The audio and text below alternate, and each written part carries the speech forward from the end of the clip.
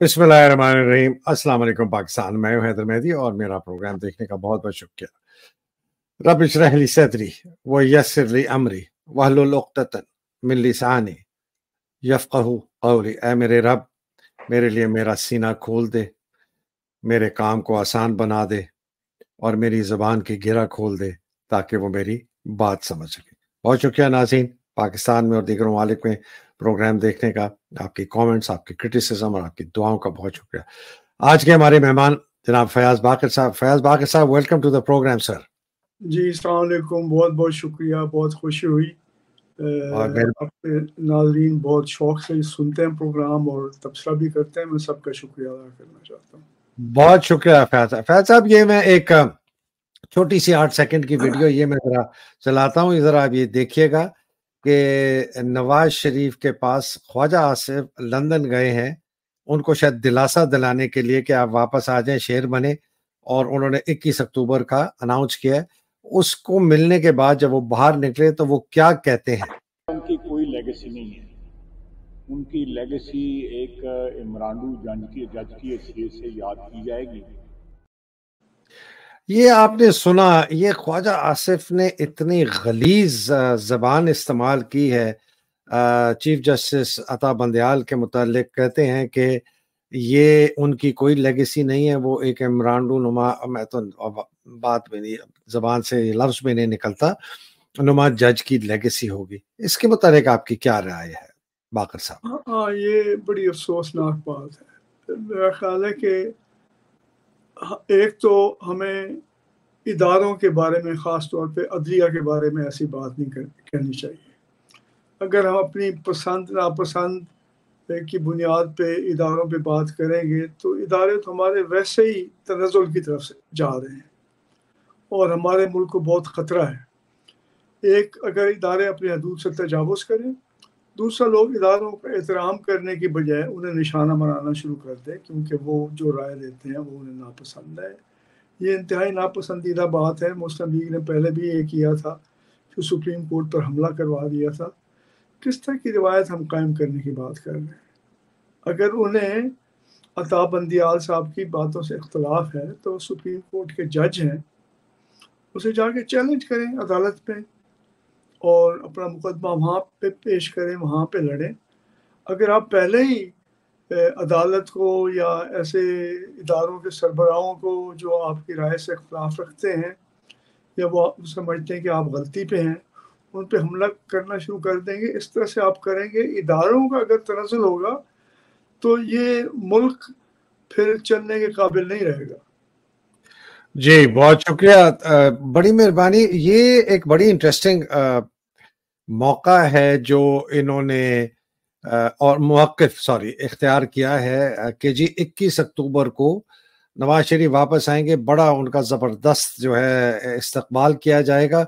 और एक narrative build किया जा रहा है कि पाकिस्तान की मीशत को अगर कोई संभाल सकता है तो वो नवाज़ शरीफ है और इसलिए वो वापस आ रहे हैं। ये नहीं देखा कि उसको तो खैर, कुछ खुद तो ज़ाती तौर पर कुछ नहीं आता। उसकी जो मीशत संभालता था इसाक डार, वो ये पिछले सत्रह महीने में क्या बेड़ा गर्क कर गया और ये अजीब किस्म का एक बयानिया अब फिर शुरू हो गया है। इसके पीछे मुझे बताया गया है कि आईएसपीआर ने ये खास तौर पर एक एडवाइजरी भेजी है तमाम टीवी चैनल्स को, मीडिया मालकान को कि आप ये नैरेटिव अब बिल्ड करना शुरू करें कि पाकिस्तान की मीशत की बका और पाकिस्तान को संभालने के लिए नवाज़ शरीफ जो है वो ही एक आदमी है वो ही बचा सकता है, बाकी कोई नहीं बचा सकता। अच्छा इसको मैं यहाँ जरा छोड़ता हूँ, मैं आपकी आज की जो ताज़ा तरीन खबरें हैं उनका मैं मुख्तसर एक रन डाउन देता हूँ इसलिए कि लोग कहते हैं कि जी हमें एक जगह पे खबरें मिल जाएँ तो वो मैं देना चाहता हूँ। सबसे पहले इमरान खान के केसेस के मुतालिक मैं चंद बातें करना चाहता हूँ। ये तो हमें पता है कि इस्लामाबाद हाई कोर्ट ने फैसला रिज़र्व कर लिया है और जो कि लीगैलिटी है ऑफिशियल सीक्रेट एक्ट की के उसके जज की उसके कोर्ट की उनकी बेल पिटिशन की अडयाला में केस, अडयाला में ट्रांसफ़र करने का, अटक पे सुनने का, वो तो उन्होंने फैसले अभी तक महफूज किए हुए हैं। तो केस जो है, वो वहीं सुना गया अटक में और, चौदह दिन का रिमांड जो है, वो आगे बढ़ा दिया जाए और कहा कि जी, मैं अगले जो है ना, मैं ज़रूर फैसला करूँगा। चौदह सितंबर को उनकी बेल पिटिशन भी ये सुन रहे हैं। वो उन्होंने कहा असनात ने कि, जी, मैं इनका फैसला एक तो ये। दूसरी सिचुएशन जो कि मेरी नज़र में एक बहुत अफसोसनाक डेवलपमेंट हो रही है। वो ये हो रही है कि इनकी जो बेगम साहिबा हैं, उनको अब टारगेट किया जा रहा है कि वो किसी तरीके से टूट जाएँ या इमरान टूट जाए, वो वादा माफ़ गवाह बन जाएँ, वो इनके खिलाफ बयान दें। वो कभी ना होने के लिए और ना वो होगा, लेकिन उनको केसेस में उलझ कर उनको अरेस्ट करने की कोशिश की जा रही है। और इमरान को भी अब उनको लग रहा है कि साइफर शायद कमज़ोर है तो 9 मई के केस में भी उसका नाम डाल दिया गया है। और वो जो मलिक रियाज वाले फ्रॉड का एक सौ नब्बे मिलियन का केस है, वो भी तैयार किया जा रहा है। तो इमरान को मुझे नहीं लगता कि कोई छूट मिल रही है। और एक जो केस इमरान के खिलाफ इलेक्शन कमीशन ने अक्टूबर में दिया था कि जी जिसके तहत इनको सजा हुई थी पाँच अगस्त का, वो पिटिशन वापस लेने के लिए दायर की गई है इस्लामाबाद हाई कोर्ट में, पीटीआई की तरफ़ से। उस पर भी फैसला महफूज है। ये जी इमरान का। और इमरान ने जी, इमरान खान साहब ने प्रेसिडेंट को भी अर्ज़ किया है जो उनके लोग मिल के आए उन्होंने कहा है कि अर्ज़ किया है कि आप तारीख अनाउंस करें। शाह महमूद कुरैशी को भी चौदह दिन रिमांड दे दिया गया। इस दफ़ा उनको हथकड़ियों में लाया गया। बड़े परेशान नज़र आते हैं कहते हैं मुझे चेयरमैनशिप ऑफ़र की गई पार्टी की और मैंने इनकार किया। मैं तो आ, काली कोठी में हूँ और आ, उनका मेरे नज़र में अभी तक जो है ना माई जूरी इज़ आउट के वो कहाँ खेल रहे हैं। फिर जी सियासी बड़ा इंटरेस्टिंग एक खिचड़ी पक रही है। फजल रहमान ने कह दिया कि जी Muslim League Nawaz Grand Democratic Alliance और जो एम क्यू एम है उनके साथ इतिहाद करेंगे पीपल्स पार्टी के साथ नहीं करेंगे और परवेज खटक और महमूद खान बिल्कुल बेतबार हैं, उनके साथ भी नहीं करेंगे। बिल्लू रानी और ये पीपल्स पार्टी वाले जो है बहुत शोर मचा रहे हैं, नब्बे दिन के इलेक्शन का। खुर्शीद शाह ने, बल्कि इमरान के हक में एक बयान दिया ये बड़ा खतरनाक सिचुएशन डेवलप हो रही है। ये एक बड़ी डिसेप्शन कर रहे हैं कि किसी तरह पीटीआई और पीपल्स पार्टी को साथ लाएँ। इसलिए मैं ये बता रहा हूँ कि किसी ने मुझे कहा कि जी, जब आसिफ जरदारी साहब अपना चेहरा मुबारक दिखाते हैं तो कोई ना कोई कत्ल हो जाता है, जिस तरह उनकी बीवी भी इस दुनिया से गई। और जमात इस्लामी एक बयानों में ऐसे बता रही है कि जैसे वो पीटीआई के करीब आना चाहते हैं। फवाद हसन, फवाद जो प्रिंसिपल सेक्रेटरी थे शबाज उनको कैबिनेट में लिया गया, जैसे सबको पता है, और सुना ये जा रहा है कि उनको प्राइवेटाइजेशन कमीशन का मिनिस्टर बनाएँगे। ये तो एक लूट खसूट की एक और शुरू हो जाएगी कहानी। और ये आज से मुनीर समझ रहे हैं कि ये बहुत ज़बरदस्त ब्यूरोक्रेट है, इसको ये सारी गेम आती है कॉन्ट्रैक्ट्स वगैरह करने की, जिसको वो बेचने की कोशिश कर रहे हैं हमारे असासे। उस पर शायद आपने भी कुछ बात करनी है ऑक्शन वगैरह की। इमरान रियाज खान की बड़ी इंटरेस्टिंग डेवलपमेंट है जी। वो अब उनकी पेशी हुई आईजीबी आया, उनका लॉयर भी आया। वो कहते हैं जी, अगली चौबीस से अड़तालीस घंटे में बड़ी अच्छी खबर आएगी। दस दिन पहले जो इनके वालिद साहब को फ़ोन आया था, उसकी तस्दीक की है कि वो ठीक है। और मैं इसको बहुत ही सस्पिशसली देखता हूँ। मुझे इसके अंदर बहुत ज़्यादा दाल में काला नज़र आ रहा है।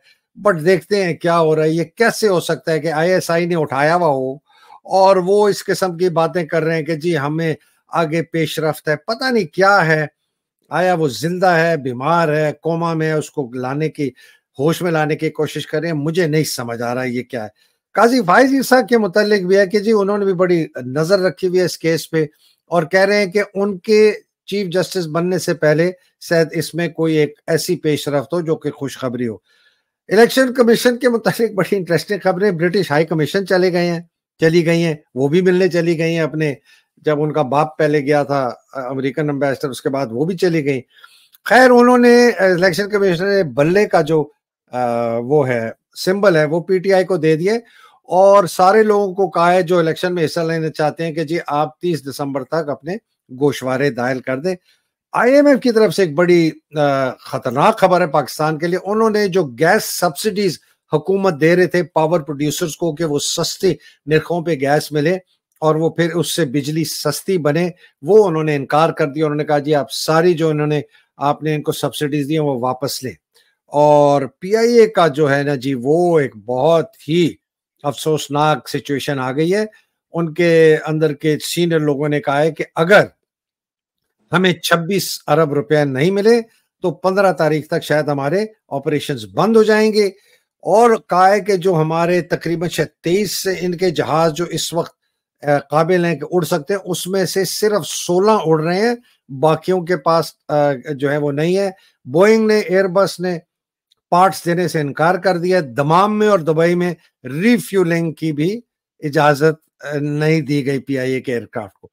तो सर, ये कैसे देखते हैं ये जो मैंने एक जायजा दिया आपको जल्दी से खबरों का? देखिए, ये जो खबरें आप सुना रहे हैं, इससे तो पता चलता है कि मतलब हमारा पूरा निज़ाम तितर बितर हो चुका है। और जो मैं पहले भी कहता था कि सिर्फ़ हुकूमत तब्दील करने से वज़ी अजम तब्दील करने से या चीफ ऑफ़ आर्मी स्टाफ तब्दील करने से मसला हल नहीं होगा। जो रूल्स ऑफ़ द गेम हैं, खेल में क्या क्या कायदे हैं जो होने चाहिए जिसके मुताबिक चलना चाहिए। जब तक वो तब्दील नहीं होंगे ये चीज़ तब्दील नहीं हो सकती। हम ये निज़ाम जिस पे हम चल रहे हैं ये अपनी बीमारी की आखिरी हदों तक पहुँच चुका है। ये बिस्तर मर्ग पे है इस वक्त। लेकिन इसे तब्दील क्या करना है उसके बारे में कुछ बात ज़रूर होनी चाहिए। वो कैसे तब्दील होगा? हाँ कैसे तब्दील होगा? कैसे लड़ेंगे लोग? कैसे वहाँ तक पहुँचे? वो बात की बात है। जैसे अब अब इन सियासी जमातों को ले लें नाम नेहाद। मैं ए, एक एक एक सिर्फ़ इसमें आपको कह दूँ मैं एक तकरीर सुनना था एक बहुत एक मशहूर फलसफी की। उन्होंने कहा कि जो मुआशी इकदार और सच्चाई और ये सिर्फ़ वो हुकूमत की बात कर दे वो सिर्फ़ हुकूमत या सियासतदानों तक महदूद नहीं होनी चाहिए। जी। इसका वो कहते हैं कि हमारे, मिसाल के तौर कहते हैं हमारे तालीम का निज़ाम, हमारी सेहत का निज़ाम, उनकी इकदार और अखलाकियात का जो फुकदान है, उसको भी देखना चाहिए हमारे डॉक्टरों में, हमारे कारोबारियों में, उनकी अखलाकी तबाही क्या है, उनकी अखलाकी इकदार क्या है, फैक्ट्रियों में, दुकानों में, बैंकर, बैंकिंग की में, तजारत में। फिर कहते हैं कि ये जो झूठ और फरेब हमारी अशरफिया में हमारे साइंसदानों में हमारे इंजीनियर में हमारे आईटी के प्रोफेशनल्स में हमारे डॉक्टरों में हमारे एकेडमिक्स में हमारे इस में हमारे स्कॉलर्स में हमारे साफियों में ये सारी जो कमजोरियाँ हैं ये माशरे के अंदर जो है किसी भी माशरे को तबाह कर देंगे चाहे वो कितनी ही मज़बूत जमहूरियत ना हो। मैंने कहा ये मैं आपके सामने पेश कर दू। हाँ आपकी बात बिल्कुल सही है। मेरे उस्ताद अख्तर अमीर खान कहते थे कि मछली सर से सड़ना शुरू करती है। पहले ऊपर तब्दीलियाँ आती हैं, अगर आप जो है अपने अखलाकी असूलों को छोड़ के आप कहें जी, जिसकी लाठी उसकी भैंस, में अपनी हैसियत का नाजायज़ फ़ायदा उठाऊं। जब आप करते हैं तो फिर ऐसा ऐसा नीचे पहुँच जाती है।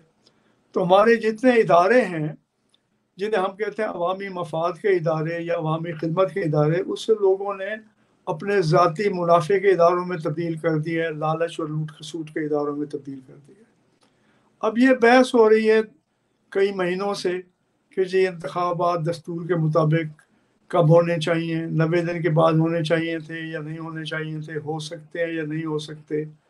पहली बात तो ये है ये तमाम सियासी जमातें जो जमहूरी होने का दावा करती हैं मेरे ख्याल में ये तमाम जमातें लिमिटेड कंपनियाँ हैं।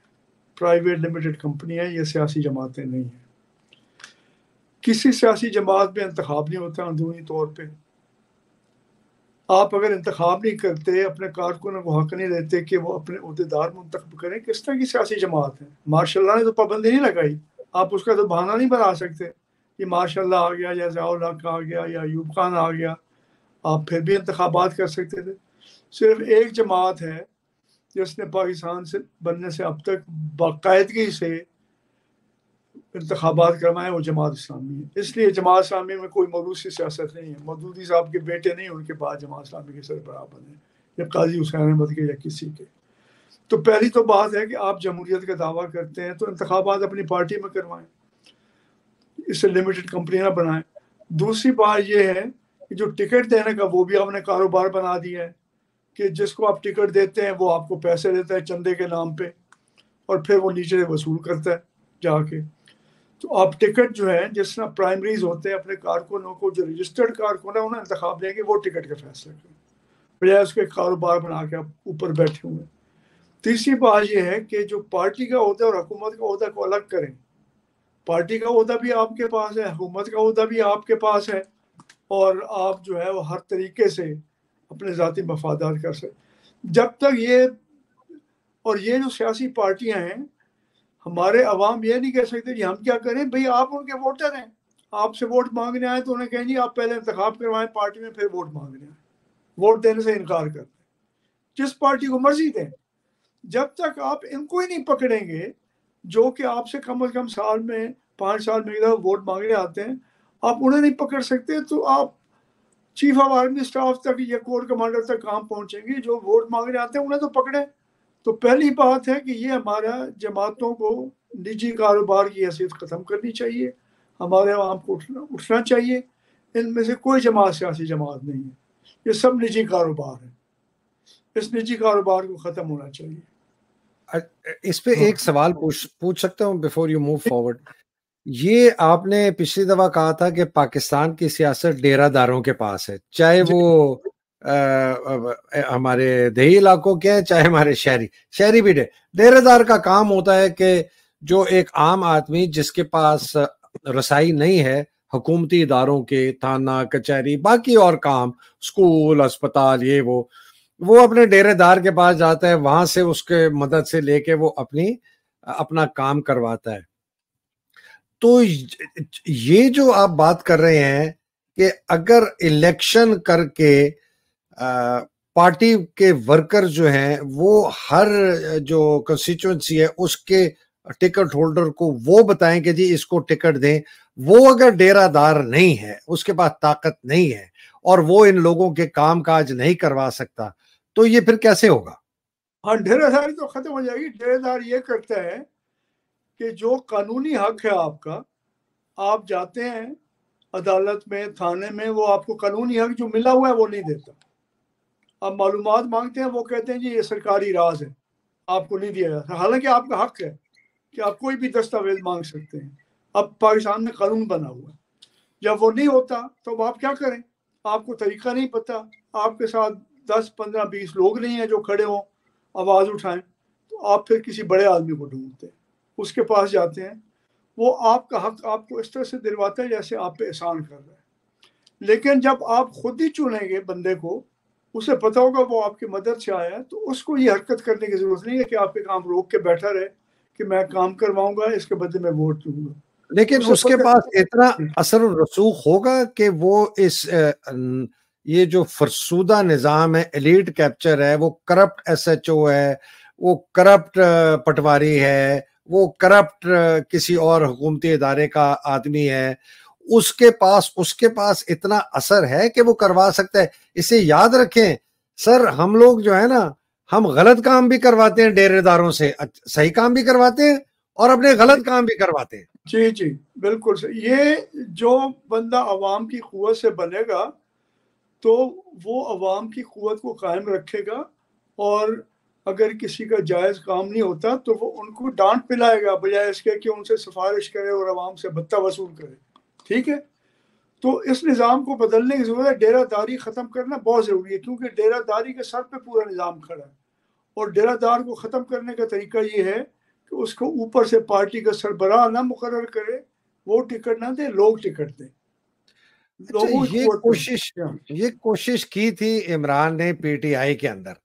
कि जी, जी। ये इलेक्शन कराए जाएँ और वो जस्टिस वजी के साथ उनका झगड़ा ही इसी बात पे हुआ था तस्नीम नूरानी के साथ जस्टिस वजी के साथ और बड़े लोगों के साथ कि वो ये परवेज फटक ने भी खरीदे टिकट मतलब खरीदे हाँ। वोट। हालाँकि वहाँ वो एक सलीम साहब थे सलीम जान मेरा ख्याल है उनका नाम था वो बड़े पॉपुलर थे। इसने जहांगीर तरीन ने भी इस तरह को हाईजैक। कर लिया वोटिंग को तो ये इतने पावरफुल इंटरेस्ट हैं जब तक ये कायम है मतलब मैं आपको मिसाल देता हूँ अगर हम आपने पाकिस्तान की फुकदान देखना है हमारे माशरे का तो सियासी फुकदान की अक्सी अगर चंद लोग करते हैं नवाज़ शरीफ शहबाज शरीफ आसिफ जरदारी फजल रहमान और भी बहुत हैं लेकिन ये सबसे बड़े चार नासूर हैं फौज की अगर आप तबाही देखना चाहते हैं, आप दो देख लें, आसिम मुनीर को देख लें, बाजवा को देख लें। आप अगर अदरिया की देखना चाहते हैं तबाही इतनी मिसालें हैं, चंद देता हूँ, आमिर फारूक, हमायूं दिलावर, ये अबुल असनात जुलकर नैन जो अभी जज है साइफर वाला। कारोबारियों में एक नाम ले लें, मलिक रियाज। मलिक रियाज बताता है अखलाकियात का गिरना, इकदार का गिरना, रिश्वत देना, तबाही बदबादी करना मतलब वो सबसे एपेक्स है। चोटी पे बदमाश है पूरे कारोबार की, नुमाइंदगी करता है पाकिस्तान की, तबाही की। अगर आप ब्यूरोक्रेसी में जाएँ दो तीन नाम फिर सामने आते हैं, राजा सिकंदर सुल्तान ईसीपी का, आपका यही, फवाद हसन फवाद। ये इसका भाई वकार हसन बहुत बड़ा, सख्त करप्ट आदमी था। ये खुद भी बड़ा करप्ट आदमी है। बहुत इसने पैसे बनाए हैं, लेकिन इतना ताकतवर था कि इसका अपना जो इंस्टीट्यूशन है ब्यूरोक्रेसी उसने इसको बचा दिया इमरान के जमाने में। और बाकी आपके सामने पुलिस अगर देखनी है तो आईजी पंजाब देख लें और आईजी इस्लामाबाद देख लें। ये मैं लोगों के नाम इसलिए ले रहा हूँ कि ये बता रहे हैं कि हमारा माशरा तबाही हो गया। आप इसी तरह यूनिवर्सिटियों में जाएँ, आपको मिल जाएँगे वाइस चांसलर जो रात को कुछ करते हैं, दिन में कुछ करते हैं। बहावलपुर यूनिवर्सिटी का आपको वाकया याद है अभी तक दब गया तो सर ये तो पूरा माशरा तबाह हुआ हुआ है। ये तो एक रेवोल्यूशन के बगैर मुझे नहीं लगता कि ये ठीक होगा। नहीं मैं मेरी बात सुने ना। रेवोल्यूशन होता है आखिर। अच्छा। शुरू कैसे होता है? ये आपकी बात है ये सब कुछ इसलिए हो रहा है कि हमारे अवाम को जो करना चाहिए वो नहीं कर सकते। अपनी कुत को पहचानना और इसे इस्तेमाल करना मैं आपको जी जी सर। जी हाँ मैं ये कह रहा था कि ईदी साहब थे जो पाकिस्तान के मकबूल तरीन अफराद में से थे अपने काम की वजह से। और लोगों ने अपने जो है ना पैसे देने में कमी नहीं की। गरीब से गरीब लोगों ने उन्हें पैसे दिए और जो कुछ उनके पास था बचत वो उनके पास जमा करवा दी। लेकिन लोगों ने पैसे ईदी साहब को दिए उनके काम के लिए वोट नहीं दिया। जितनी दफ़ा वो इंतखब लड़े, वो हार गए। तो जब आप जिन लोगों पे एतमाद करते हैं अपने पैसों पे कि वो ईमानदार हैं, खिदमत करने वाले हैं, मोहब्बत करने वाले हैं, उन्हें वोट नहीं देते तो फिर इस तरह की चोर बाजारी होती रहेगी। आप भी तो कुछ हिम्मत करें ना। आप वोट देने के लिए उनके पास जाते हैं जो आप समझते हैं थाने कचहरी में आपका काम कर देगा आपका ख्याल है ईमानदार आदमी, लोगों की खिदमत करने वाला आदमी इनकसारी रखने वाला आदमी ये काम नहीं कर सकता, ऐसी बात नहीं है। वो कर सकते हैं। पहले आप तब्दील हो, आप ये फैसला करें कि आपने इन डेरादारों को वोट नहीं देने। और आपने अपनी पार्टियों से मुतालबा करना है कि हम जो है डेरादारों को आप नहीं चुनेंगे, टिकट देंगे, हम उसका फैसला करेंगे। आपकी बात सही है, इमरान खान ने जब शुरू किया तो धांधली पार्टी के अंदर इंतबात में करने की कोशिश की गई। शुरू में जब नया कल्चर शुरू होता है, उसके रास्ते में बड़ी रुकावटें आती हैं तो ये लड़ाइयाँ तो लड़नी पड़ती हैं, ये लंबी है। लेकिन इस सिमत में जाना चाहिए, ये अहम है। पहली बात। दूसरी, जैसे अब आप बात कर रहे थे यूनिवर्सिटियों में, मैं जो अहम बात करने की कोशिश कर रहा हूँ कि ये ऊपर के कंट्रोल के ज़रिए से कोई तब्दीलियाँ नहीं आती। रूल्स तब्दील करेंगे। जैसे यूनिवर्सिटियाँ पाकिस्तान में सैकड़ों बन गई हैं, जो शायद इंटरमीडिएट कॉलेज या कोचिंग सेंटर की सतह की तालीम भी नहीं करते। और उसके तोड़ का क्या तरीका है? हिंदुस्तान में मैंने पहले भी ज़िक्र किया था कि जिन लोगों ने अपना मिशन भेजा है चाँद पे जनूबी इलाके में जो दुनिया के किसी मुल्क ने अभी तक नहीं भेजा वो सारे उनके और उनमें अक्सरियत खातन की वो हिंदुस्तान के पड़े हुए हैं। hmm. तो हम जरा अपनी सरहदें खोलें ना हिंदुस्तान से मुआदा करें हम हमारे लोग वहाँ जाके पढ़े ये सारे जाली यूनिवर्सिटियाँ बंद हो जाएँगी। अच्छा बड़ी रेवोल्यूशनरी बात कर रहे हैं कि हिंदुस्तान जाके पढ़े। हम मुझे तो, याद है एक जमाने में हमारे पास ये सारे गल्फ के सऊदी अरेबिया के फलस्तीनी तुर्की सब ये आया करते थे पढ़ने के लिए। बिल्कुल आते थे। हमारे सारी यूनिवर्सिटियों में पढ़ते थे। मेरे क्लास फेलो में थे उर्दन से ईरान से लोग थे। लेकिन ये मैार हमने बर्बाद कर दी है। हिंदुस्तान से आप खोल दें ना तजारत खोल दें तो ये शुगर माफिया और ये दूसरे माफियाज ख़त्म हो जाएँगे। जो खुली तजारत हो रही है, जो सस्ती चीज़ें आ रही हैं, अब जो हमने ये पाबंदियाँ लगाई हुई हैं, उससे इस तरह की जाली यूनिवर्सिटियाँ और स्मगलर्स उनके लिए हम कारोबार कर रहे हैं। तजारत तो फिर भी हो रही है गैर कानूनी तरीके से, या कानूनी तरीके से दुबई के रास्ते से हो रही है। तो इन लोगों को अगर आपने तोड़ना है, ये जो माफियाज बैठे हुए हैं, आप तजारत हिंदुस्तान से भी खोल दें, ईरान से भी खोल दें। ये बिजली का मसला है, वो आपको गैस देने को भी तैयार हैं, तेल देने को भी तैयार है, बिजली देने को भी सस्ती तैयार है। आपने एक बहाना बनाया हुआ ये सेंक्शंस लगी हुई हैं। अब आप चीन के साथ भी तजारत कर सकते हैं, ईरान के साथ भी कर सकते हैं, हिंदुस्तान के साथ भी कर सकते हैं, अरबों के भी साथ कर सकते हैं, उनकी करेंसियों में आई एम एफ़ से आप पैसा नहीं ले रहे, आपको कौन सी सेंक्शंस का डर है? वो निज़ाम तो ख़त्म हो रहा है। तो जो दूसरी बड़ी असलाह की ज़रूरत है, वो ये है कि हम अपनी तजारत खोल दें। इन मुल्कों के साथ। उसके सवाल सारे माफिया ख़त्म हो जाएँगे मैं मैं समझता बहुत अच्छा ये आपका मशवरा है। बात ये है कि पाकिस्तान के ऊपर इस वक्त कब्जा है अमेरिका का पाक, अफवाज पाकिस्तान के थ्रू। सिंगल मैन रूल करता है आसिम। वो फैसला करता है कि किसके साथ क्या कर रहे हैं। वो कहता है जी मैंने ईरानियन स्मगलिंग जो है ना डीजल की बंद करानी है। मैंने चीनी वालों को पकड़ना है। ओ जी डंडा चला दिया। ये भी हफ़्ता दस दिन दो महीने चल गया फिर ये भी फुस हो जाएगा जिस तरह अयूब का फुस हुआ था और हाँ। याया का हुआ था जिया का हुआ था मुशर्रफ का हुआ फुस ये हो जाए लेकिन हकीकत ये है कि अमेरिका का कब्जा है पाकिस्तान पे अफाज पाकिस्तान के थ्रू और उसका कब्जा है आसिम के थ्रू तो ये आप जो ये बात कर रहे हैं ये मुझे आखिर में एक हल तो नज़र आ रहा है कि इस हदफ तक हमने पहुँचना है सवाल ये है कि उस हदफ तक पहुँचे कैसे कि हम ये सारे जो आप रिफॉर्म्स की बात कर रहे हैं, पार्टियों के अंदर सियासी या आपने कारोबारी जो रिफॉर्म है ट्रेड की हम रिफॉर्म बात कर रहे हैं। मैंने पिछले दिनों कहा अपना कि फौज के अंदर बड़ी मेजर रिफॉर्म होनी चाहिए रिडक्शन होनी चाहिए, आपके ऊपर भी उसकी बड़ी राय है। फौज रियल इस्टेट में उनके जो डी एच एज हैं ये वो उनके मुतालिक भी आपकी एक राय है मेरी भी है कि इनको एक ऐसी फौज की हकमियत से निकाल के चाहे इनको आप ऑक्शन करें या इनको आप एक खास कोई व्हीकल में डालें। अभी आपको मैं बताता हूँ एच एम आर एक है। हाजी पता नहीं मोहम्मद कोई परदेसी टाइप है मोहम्मद मुझे नहीं पता। अच्छा। उनका प्रोजेक्ट है फ़ेज़ एट में बहुत बड़े चौदह हाई राइज टावर्स बना रहे हैं। उसको H M R water front कहते हैं। आपको अच्छा। पता है ये प्रोजेक्ट किसका है? ये अफवाज पाकिस्तान का प्रोजेक्ट है। ये डीएचए का प्रोजेक्ट है। उन्होंने ज़मीन दी है इस एच आर को। इतनी बड़ी उनकी दाढ़ी है। दो उनके बेटे उनके डायरेक्टर हैं।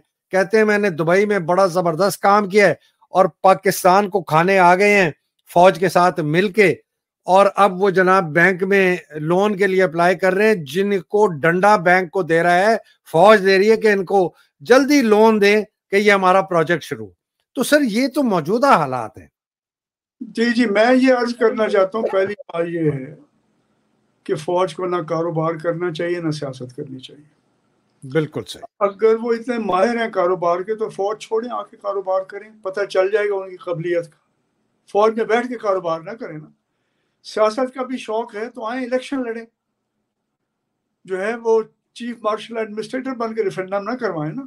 इस तरह की धांधियाँ ना करें। अगर ये समझते हैं कि हमें इनको इनको फंदा कौन पहनाएगा? इनके हाँ। गले में घंटी कौन बांधेगा? इनके हाथ में हथकड़ियाँ कौन डालेगा?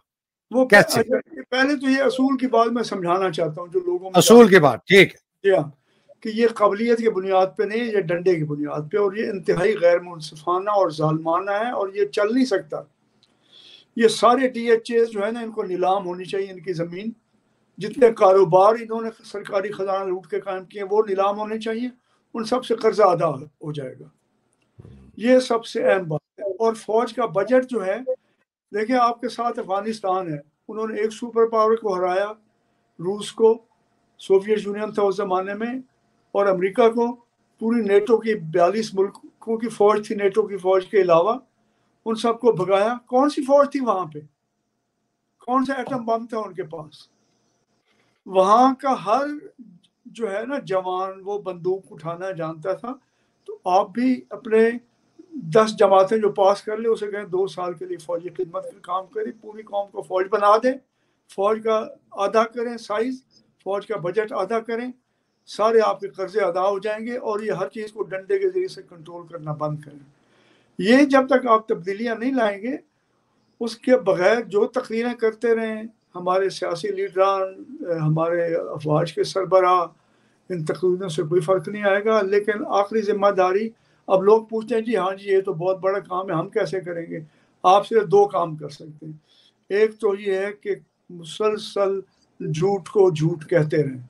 अपने घर में, गली में, मोहल्ले में, जिस तरह से आपके प्रोग्राम है, उसमें झूठ को सच ना माने। क्योंकि जो जालमाना निज़ाम है, जिनकी एक इंतहाई शक्ल हिटलर का निज़ाम, उसकी बुनियाद इस सोच पे थी कि अगर एक झूठ को आप मुतवातिर बोलते रहें तो लोग उसके आदि होकर उसे सच समझना शुरू कर देते हैं। और जो सब सच समझना शुरू कर देते हैं, फिर वो बिला एतराज़ उसकी तमील करना शुरू कर देते हैं। तो झूठ को झूठ कहते रहें। आप जहाँ भी बैठे हैं जाती तौर पे हमले ना करें गालियाँ ना दें गालम गलोच ना करें शवाहद पकड़ के लाएँ झूठ को झूठ कहें सच को सच कहें। ये पहली so, बात। जी हाँ। ठीक जी पहली बात। जी बताइए। और दूसरी बात यह है कि इंतबात के लिए जो निजी कंपनियाँ आपके पास आए उन्हें कहें इन्हें सियासी जमातों में तब्दील करें। ये निजी कारोबार नहीं है। आपने अपने बेटे के हवाले कर दिया बेटी के हवाले कर दिया। यार बाकी जो हज़ारों लोग हैं उस पार्टी में वो कोई अंधे गूँगे बहरे हैं? कि उन्हें तो, ना सियासत का पता है ना उन्हें मुल्क की हालात का पता है? तो ये आम आदमी के हाथ हाथ में ये दो चीज़ें हैं। एक सच को सच कहें झूठ को झूठ कहें और वोट उन लोगों को डालें जिनको खुद उन्होंने टिकट दी। फयाज बाकर साहब मैं जब देखता हूँ पाकिस्तान की खिलाकियात और इकदार और मैं उन लोगों की बात करता हूँ जो कि मैं समझता हूँ कि जी बड़े वो सच बोलने वाले हैं एजुकेटेड हैं अवेयर हैं बाहर भी रहे हुए हैं बीस बीस साल बाहर रह के बीस पच्चीस पच्चीस तीस तीस साल रह के वापस गए वो उसी गलाजत में अपने आप को डबोते हैं जिस गलाजत को वो तीस साल क्रिटिसाइज करते थे ठीक है वो हाँ। रिश्वत देते हैं झूठ बोलते हैं फ्रॉड करते हैं मैंने ऐसे ऐसे बैंकर्स देखे हैं जिन्होंने 25 25 30 30 साल बैंक ऑफ़ अमेरिका में इधर उधर काम किया है। पाकिस्तान आते हैं तो 11 बजे से पहले दफ्तर नहीं आते। उनके सेक्रेटरी से पूछो कि यार किधर है साहब? कि जी वो फलानी जगह मीटिंग में है। फलानी जगह मीटिंग में जब मैंने फ़ोन किया उन्होंने कहा नहीं जी यहाँ तो कोई मीटिंग ही नहीं है उनकी। मतलब इतना बड़ा झूठ और ये बड़े बड़े चोटी के बैंकर्स हैं। ठीक है ना जिन्होंने तो मैं आप हम एक छोटे आदमी को कहते हैं, तुम झूठ ना बोलो, हमारा तो पूरा माशरा इस गलाजत के अंदर बिल्कुल कूट कूट कर, हमारे में ये गलाजत इकदार की फुकदान, तबाही भरी हुई है। मैं, मुझे आपकी बातें बिल्कुल सही समझ आ रही है कि हमने, हम भी, मैं भी ये कहता हूँ, रिफॉर्म करेंगे फलाना। मसला ये है कि इस वक्त जो हमारी इकदार है, जिस किस्म का माशरा है जैसे हम डरपोक हैं, हमने कभी सेक्रीफाइस नहीं किया। हमने कभी हिम्मत नहीं ली कि जाबिर सुल्तान के सामने नाराय हक करें, हाथ से भी करें, कलम से भी करें, कभी नहीं किया। हज़ारों साल से नहीं किया। पाकिस्तान की छिहत्तर साल में नहीं थोड़े थोड़े बेचारे लोगों ने क्या, मारे गए, पिट गए, दब गए, अभी भी दब गए हैं। तो ये ये मुझे, ये ये ये जो इम्ब्रोग्लियो है, जो ये फसावे है ये मुझे टूटता हुआ कैसे? बताएँ कि ये टूटेगा कैसे? पहले तो खत्म तो कैसे होगा? मैंने अपने आप को अपने खौफ से और अपने लालच से आज़ाद करना कैसे? हाँ अच्छा ये कहना तो आसान है। मुझे माफ़ी माजर चाहता हूँ फयाज साहब बताइए कैसे होगा? हमारा बंदा वो लालच से खौफ से अपने आप को आज़ाद इसलिए नहीं करता इसलिए अगर करेगा तो वो साला मारा जाएगा उसकी सर्वाइवल नहीं है। नहीं मारे नहीं जाते। ऐसी बात नहीं है। ये हम हमने अपना जवाब घड़ा हुआ है। oh, जब तक के खिलाफ लड़ेंगे नहीं तो फिर दूसरों से उम्मीद नहीं रखनी चाहिए। ये बहुत बड़ी मुनाफ्त है कि मैं खुद ना मानता लेना चाहता हूँ ना मैं जो है वो अपने लालच को छोड़ना चाहता हूँ ना मैं किसी के सामने हक के लिए झुकना चाहता हूँ और मैं चाहता हूँ ये सब कुछ ठीक हो जाए। मैं कहता हूँ दूसरे मेरे लिए कर दूसरा कभी नहीं करेगा। जब तक सही खुद नहीं लड़ूँगा। अच्छा मैं आ, हाँ, जी जी सॉरी सॉरी प्लीज़ मैं आपको एक छोटी सी मिसाल देता हूँ। मैं एक साहब से मैंने पूछा मैंने आपने मैंने कहा कि आपने अल्लाह वाला बंदा देखा है? अपनी ज़िंदगी में उन्होंने कहा हाँ, मैंने देखा है। मैंने कहा कौन? कहने लगा मैं उतर रहा था ट्रेन से तो एक कुली मुझे मिला। मैंने उसका सामान दिया अपना रखने के पुराने ज़माने की बात है। तो उसने कहा मैंने कहा कितने पैसे लोगे? उसने अपना इशारा किया, जहाँ पे लिखा हुआ था आठ आने। मैंने कहा, मैं तुम्हें दस रुपये दूँगा। उसने कहा, नहीं, दस रुपये नहीं। मैंने ये मुआदा किया हुआ कि मैंने आठ आने लेने उसने कहा, यार, मैं अपनी मर्ज़ी से दे रहा हूँ। उसने कहा, आप चाहे, अपनी मर्ज़ी से दें। मैंने आठ आने का मुआदा किया हुआ मैं आठ आने लूँगा आपसे दस रुपये नहीं लूँगा अभी ये बहस हो रही थी तो अजान की आवाज़ आ गई, उसने मेरा बिस्तर बंद वहीं रख दिया। उसने कहा, क्यों? उसने कहा, अब अजान के वक्त आ गया, पहले मैं नमाज़ पढ़ूँगा बाद में मैं सामान उठाऊँगा वो छोड़ के चला गया। ये इसका तल्लुक आपके अपने आप से है। जी जी बिल्कुल मैं समझता अच्छा इसको ना आज की जो नशिश को यहाँ रोकते हैं बिकॉज़ जो अगली आपके साथ नशिश मैं करना चाह रहा हूँ कि आपने ना फयाज वाकद साहब ये बताना है कि हम में ये अखलाकियात कैसे आएँगी? हम में ये मुनाफ्त हम कैसे ख़त्म करेंगे? हमने ना ये घर में सीखी ना माँ बाप ने हमें सिखाई ना हमारे स्कूलों में हमने सीखी। हमने जहाँ कारोबार किए नौकरी किए चाहे फौज में की हुकूमत में की निजी इदारों में की वहाँ चोर बाजारी चोर बदमाशी है। ये हमें अपने आप को तब्दील कैसे करना है कि आगे माशा तब्दील होगा ये अगली नशिश के लिए हम छोड़ते हैं। ठीक है सर? बिल्कुल ठीक है बस मैं ये कहूँगा कि हार के डर से सच को नहीं छोड़ देना चाहिए। सॉरी? हारने के डर से सच को नहीं छोड़ देना चाहिए। बिल्कुल बिल्कुल। और वही वही हम अपनी जो जहनी गुलामी है ना हमने उसको कैसे खत्म करना है मैं उसी पर आऊँगा। तो इनशाला अगली नशिश तक इजाज़त दीजिए। बहुत बहुत शुक्रिया। अल्लाह ताला आपको अपने हिफ्जमान में रखे आपके प्यारों को हिफ्जमान में रखे। पाकिस्तान की हकीकी आज़ादी की जो जंग लड़ने वाले हैं अल्लाह सुबहाना ताला उनको अपने हिफ्जमान में रखे। जो बेचारे इस जंग में शहीद हो गए हैं फयाज बाकर साहब जो आपकी बातों पर हम्म। कामजन है और उसके वो हरावल दस्ते का उन्होंने किरदार अदा किया अल्लाह उनकी दर्जात बुलंद करे और जो अभी जद्दोजहद भी कर रहे हैं और कैद काट रहे हैं मुसीबतें काट रहे हैं घरों से निकले हुए हैं उनके माओ बहनों बेटियों पे तशद किया जा रहा है उनके माँ बाप पर तशद किया जा रहा है अल्लाह सुबहान ताला इन सब की मुश्किलें आसान करे पाकिस्तान जिंदाबाद पाकिस्तान पाइंदाबाद इलाही आमीन सलाम खुदा खुदा